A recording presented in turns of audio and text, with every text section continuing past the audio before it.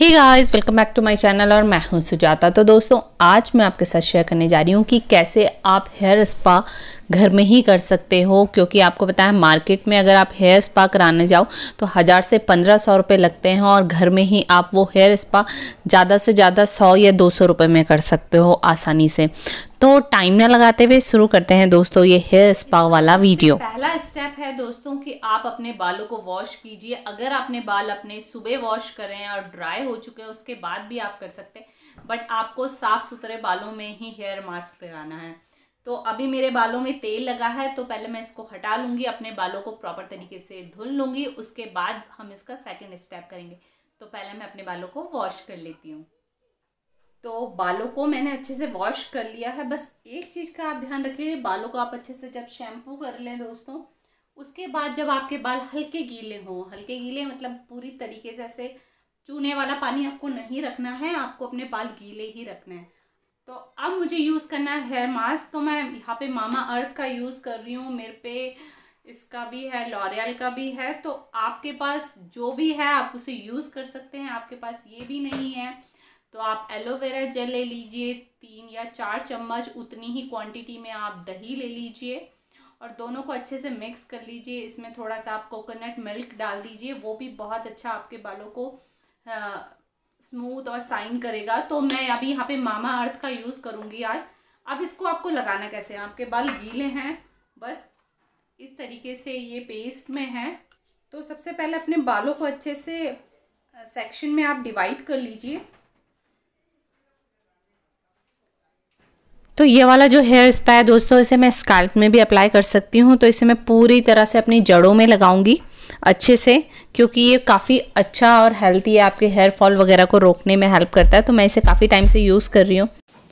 तो आप इसे जड़ों में भी अप्लाई कर सकते हैं और लेंथ में भी। तो बस आपको क्या करना है थोड़े थोड़े बाल लेने हैं और इस तरीके से लंबे खींचना है। मतलब आपको स्ट्रेट करने हैं अपने बाल। थोड़े थोड़े सेक्शन में ही आपको लेना है, ज़्यादा सेक्शन में आपको नहीं लेना है बालों को।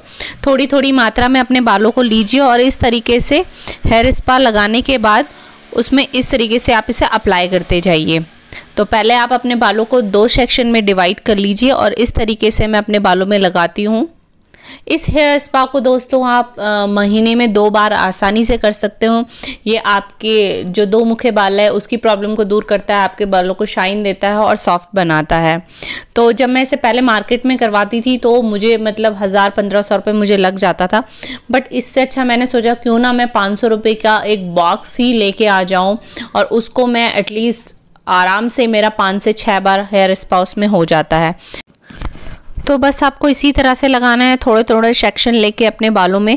बस ये ध्यान रखिएगा कि आपके बाल गीले होने चाहिए। अगर आप ड्राई बालों में लगाओगे तो अच्छे से नहीं लगता।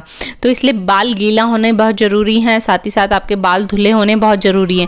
क्योंकि आप अगर गंदे बालों में लगाओगे तो वो उतने अच्छे से काम नहीं करता। और इसीलिए मैंने अपने बालों को वॉश करा है और बालों को गीला रखा है। तो इसी तरीके से मैं पूरे बालों में से अप्लाई कर लूँगी।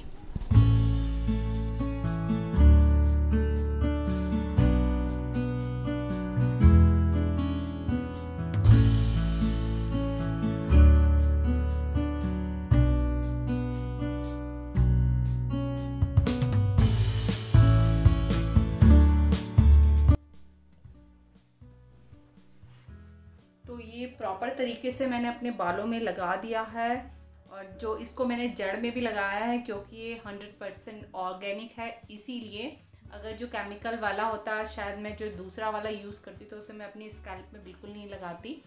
तो इसे मैंने लगाया। अब इसका जो तीसरा स्टेप है वो देखते हैं कि उसे कैसे के बाद सबसे पहले मैं अपने बालों को अच्छे से बाँध दूँगी। या आप क्लेचर वगैरह कुछ भी लगा लीजिए इस तरीके से मैं यहाँ पे क्लेचर लगा रही हूँ।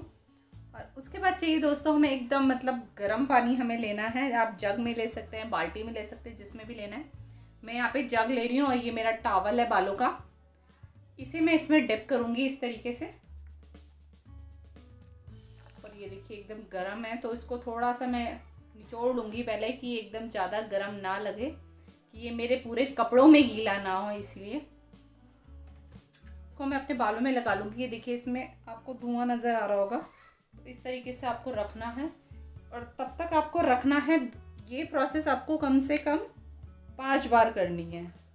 अब ये हो गया, तब तक आपको अपने बालों में रखना है, जब तक ये जो पानी है इसका या ये टावल है, ये ठंडा ना हो जाए।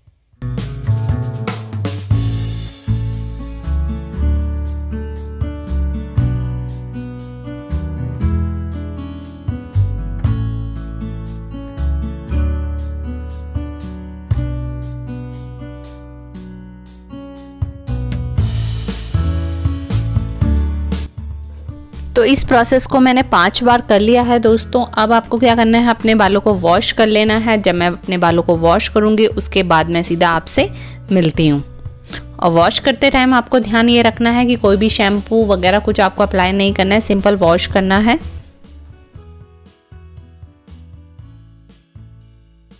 तो मैंने अच्छे से सुखा लिया था और आप देख सकते हैं मेरे बाल मेरे बाल काफ़ी ज़्यादा सॉफ्ट हो चुके हैं कि मतलब फिंगर ऐसे निकल रही है। तो ये होता ही है कि अगर आप घर में हेयर स्पा करो, बस थोड़ा सा ये रहता है कि हम पार्लर में जाके एक अलग फीलिंग होती है और घर में अलग फीलिंग होती है। बट पैसे का अगर आप बोलो कि एक पार्लर में अगर आप एक हेयर स्पा कराने जाओ तो अराउंड पंद्रह सौ रुपये का।